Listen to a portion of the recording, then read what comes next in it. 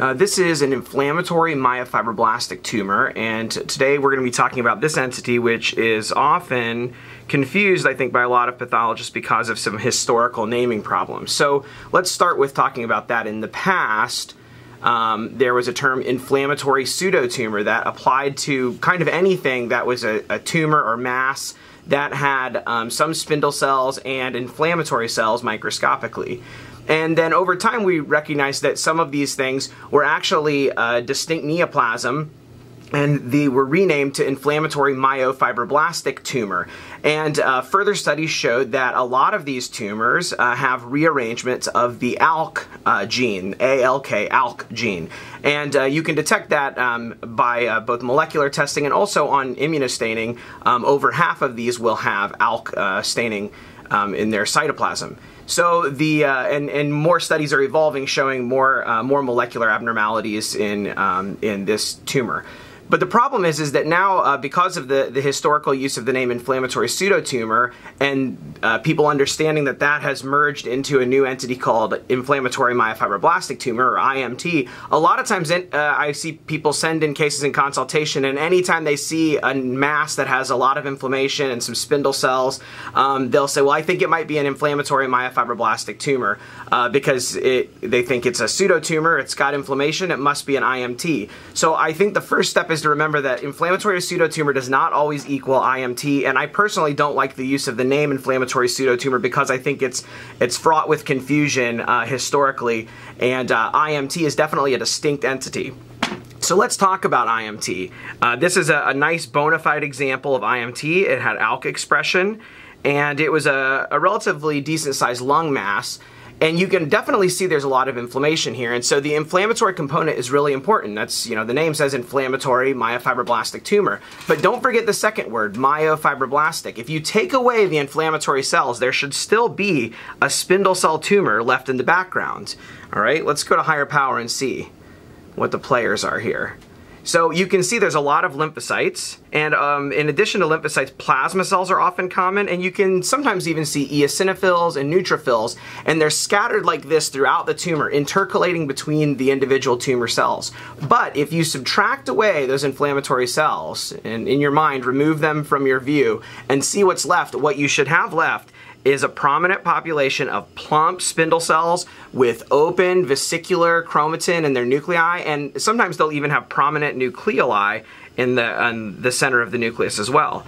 And so you can see these nice big open nuclei. And they look myofibroblastic. Uh, they're plump and they often have kind of an amphophilic that is a light purpley colored cytoplasm. Okay, and if you do immunostains, these should stain with smooth muscle actin, and they're usually going to be negative for Desmin and other stains. And then additionally, like I said, um, the ALK uh, immunostain is going to be positive in over half of cases. So that's a problem too, is that there probably are some cases um, that would fit with inflammatory myofibroblastic tumor that don't have ALK expression. And again, this is a growing area where additional um, studies are showing that there may be other partners and other molecular molecular events going on aside from just a basic ALK translocation. And so I can add some links down in the video description below so you can do some additional reading on that. But this is the pattern of what you want to see. You want to see a tumor that's got inflammation scattered throughout. And again, here's some, actually a few, you know, neutrophils in here. If I can get the slide into focus. You can see there's neutrophils scattered in here. There are lymphocytes scattered. And um, and but you have to make sure that when you take away that inflammation that what you're left with is a spindle cell background. So let's go to lower power so you can see what we have here. So these are kind of these long, kind of broad fascicles that are made of plump myofibroblasts. Yes, perfect classic example here of inflammatory myofibroblastic tumor. Now these can occur in a lot of different sites, but the most common scenario is to see them in the abdominal or pelvic region, and they are more often seen in children and young adults. And um, there's some question about how do you classify them? Are they benign? Are they malignant? Well, most of them behave in an indolent fashion, so uh, you could think of them as more benign, but there are a, a small subset of cases, probably less than 5%, that can show more aggressive behavior and metastasize. So we kind of think of this as a tumor of intermediate malignant potential still. Even though most of the, the cases behave indolently, there are occasional cases that can be more aggressive. And um, there have been some other things uh, described that are in this same kind of uh, category uh, in the abdominal cavity called uh, epithelioid um, inflammatory myofibroblastic sarcoma. They look a bit different than this. They have much larger round um, kind of epithelioid cells with big nucleoli, and they all have a unique pattern of membranous nuclear ALK staining, and they behave very aggressively. So they're thought to be a different um, a different entity than typical regular inflammatory myofibroblastic tumor, but uh, it's a good thing to know about, and it's a relatively recently recognized entity. And again, I'll add a link down below that you can uh, do some additional reading if you like. So burn this into your mind as an example of what a, a, real inflammatory myofibroblastic tumor should look like. Plump spindle cells, kind of uh, pink to light purpley blue amphophilic cytoplasm, uh, big vesicular nuclei, and a, a, bunch of inflammation scattered throughout the background. This particular case uh, was from, I think, a young adult, and it was a, a lung mass, and you can see out here we're in, we're in lung. So this was a nice example of inflammatory myofibroblastic tumor. Uh, let me see, I think we have another one here. And special thanks to my uh, dermatopathology fellow, uh, Ed Fulton, for pulling all these slides and, and uh, coming in early in the morning to help me get these videos prepared. So next time you see him at a meeting, thank him if you think these videos are useful. So here we are in the liver. And you can see there's the border of the tumor here. We've got a, a kind of a fibrous sclerotic border and some um, actual lymphoid aggregates out here. And then in the middle, we have a mass that's replacing uh, the uh, liver parenchyma. This one looks a little bit different than the last one. It's a lot more edematous, a lot more kind of loose and myxoid in between the tumor cells. But And when you go to high power, for sure, you can see lots of inflammatory cells there. But if you take those inflammatory cells away, what are you left with? You're left with these big, plump cells that have uh, open chromatin and prominent nucleoli. And these are a little bit more on the plump epithelioid kind of side than in the previous case we had seen. Um, I don't think they are atypical enough to fit into the epithelioid inflammatory myofibroblastic sarcoma um, entity that I mentioned. But these are these large, plump, uh, very vesicular nuclei, prominent nucleoli that you can see here.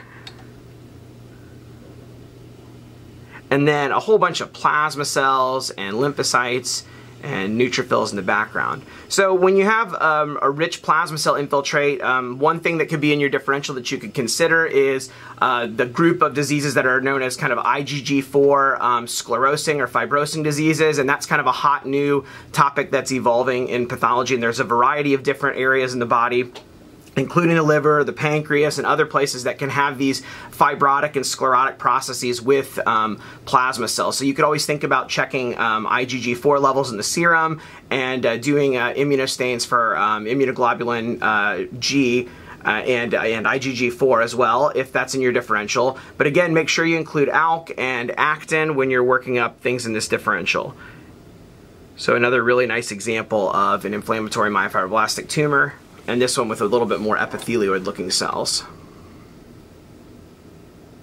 But if you, if you take the inflammation away, you're still left with tumor cells in the background. If you take the inflammation away and all you have are some scattered reactive myofibroblasts and um, uh, vessels and basically granulation tissue, that's not an inflammatory myofibroblastic tumor probably. That may just be granulation tissue or reactive uh, change. And I think that I, I, see a lot of times cases like that that people um, suggest to be inflammatory myofibroblastic tumor. And again, because occasionally these cases can um, behave aggressively, it's, it's not common, but occasionally they can, I think it's important to make sure that we don't call reactive uh, processes as uh, IMT. It's important to not make that, um, that mistake.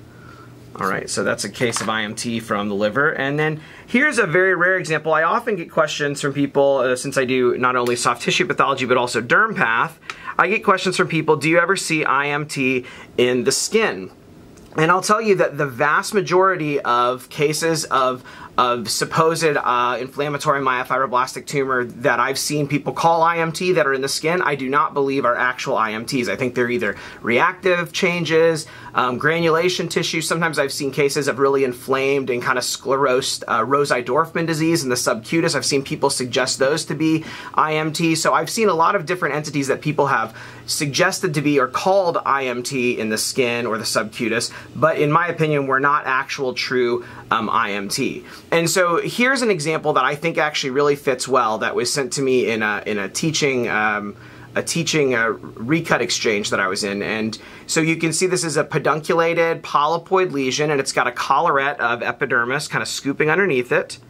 And at first glance, one thing you would think about with this kind of pattern, and especially if, you, if you're told that ALK uh, immunostain is positive, as it was in this case, is you might think of epithelioid fibrous histiocytoma, which despite the name is not at all related to dermatofibroma or benign fibrous histiocytoma. Um, we now know that it has its own translocation involving the ALK gene, and it looks quite different though than inflammatory myofibroblastic tumor, and according to some recent studies, it behaves in an entirely benign and indolent fashion. But this uh, tumor, when you go to higher power, doesn't look like epithelioid fibrous histiocytoma. Instead, you see similar um, features to that first case we saw in the lung. You see these plump spindle cells with kind of a, a bluish purple, light amphophilic kind of color to their cytoplasm. Sorry, try to get in focus here a little bit of loose myxoid material in between, and scattered lymphocytes spread throughout these tumor cells. So these fascicles of plump myofibroblasts and then the scattered inflammatory infiltrate between is perfect for inflammatory myofibroblastic tumor. And again, this case was positive on an immunostain for ALK. So I think this is a nice bona fide example of what I would accept as an inflammatory myofibroblastic tumor uh, arising in the skin of a child. And so this is a really good example also. But the other thing, like I said, you have to remember that ALK is not totally specific. ALK uh, staining can be seen in epithelioid fibrous. ALK staining can be seen in a subset of spitzoid melanocytic neoplasms. So in the skin, um, and also ALK can be seen, of course, in anaplastic large cell lymphomas of, not in the skin, but uh, usually of the systemic type. So there are a variety of other diseases that have the ALK stain. So ALK by itself is not totally specific, but it's a really helpful marker, I think, in these kinds of cases.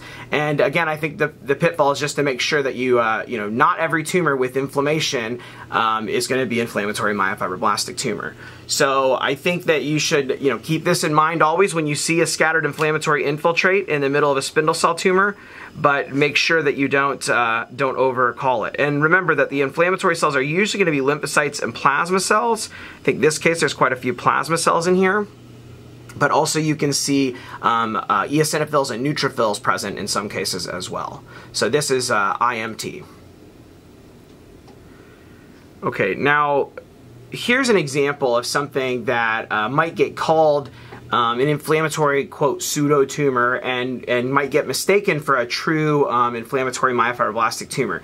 This is a polyp in the um, prostatic urethra, and so it was uh, removed with um, a TURP procedure.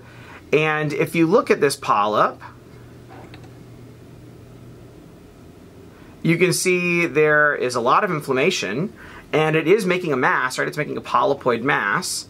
And there are uh, large, kind of reactive looking uh, blood vessels in here, and again, a lot of inflammation. And so the appearance is, is really that of, I think, similar to granulation tissue. But if you take away the vessels and the inflammatory cells, I mean, there are going to be some scattered myofibroblasts left in there, but there's not really like a tumoral population of myofibroblasts. So these kind of reactive pseudotumoral uh, inflammatory polyps of the, the genitourinary tract have been well described and, and other kinds of things like this in soft tissue I see also. And the point is not to go into all those different entities, but to let you know that in my opinion, these tumors, um, although they may be, quote, pseudotumors, they may be making a mass, so a tumor in the, in the ancient ancient sense of the word, a mass, but they're not a neoplastic proliferation of myofibroblasts. So even though they're making a mass and have a lot of inflammatory component, if you take away and subtract out in your mind, if you subtract out those vessels and the inflammation, there's really not much left other than a little bit of background, um, maybe reactive myofibroblasts, but there's not that prominent population of fascicular, spindled, plump, spindled, or even epithelioid cells that are myofibroblastic that we saw. And of course, ALK would be negative here as well. So don't confuse this for a true IMT.